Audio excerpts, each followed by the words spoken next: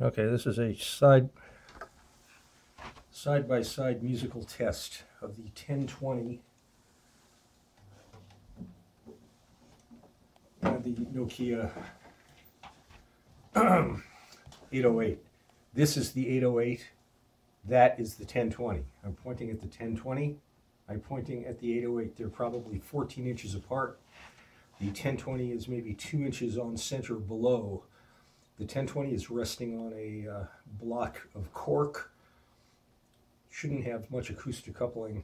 The 808 is in the Nokia tripod mount. And now I'm going to try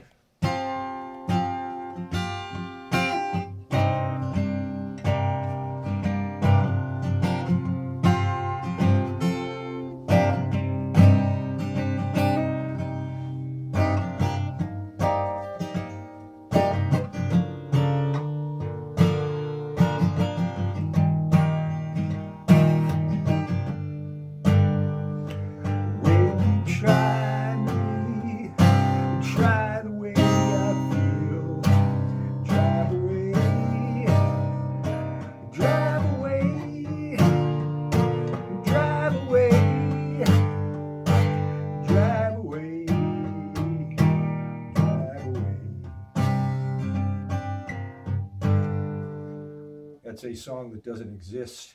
I just like the way I feel when I say,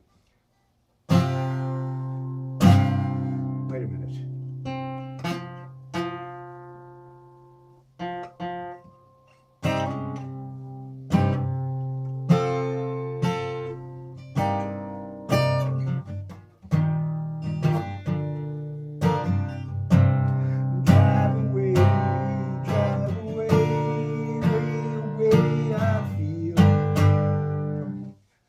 Like that. Drive away. That could be good.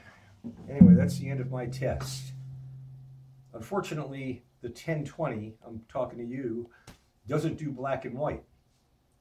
But it's got image stabilization. But since um, optical, but and it's got a smaller sensor. But since I'm physically mounting it, I'm not sure that I care. Uh, there's the dog. He should be slightly out of focus over there. Here he is. All right, end of test.